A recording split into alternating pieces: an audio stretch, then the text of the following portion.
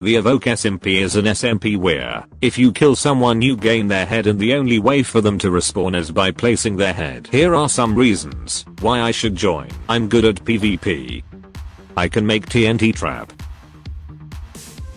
I can build a really good house. In all seriousness, I want to join because I want to meet new people that are aspiring content creators like me. I know a little about the algorithm, and I hope I can join.